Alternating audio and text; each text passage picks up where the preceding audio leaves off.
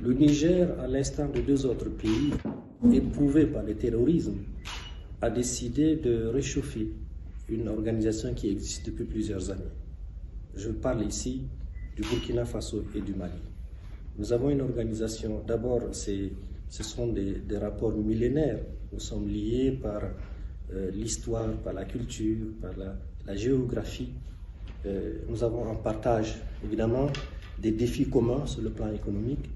Euh, ce sont trois pays qui sont des pays de l'interland, n'ayant pas accès à la mer. Donc nous avons tout pour que nous puissions ensemble partager nos préoccupations, avoir des, projets communs, euh, des stratégies communes et euh, aussi la mise en commun de nos moyens pour nous défendre.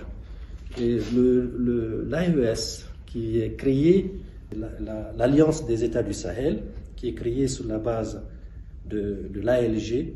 L'ALG, c'est l'autorité de l'Uptako Gourmand, euh, qui existe depuis les années 70.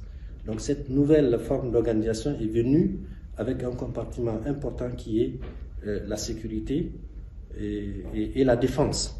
Donc dans ce cadre, évidemment,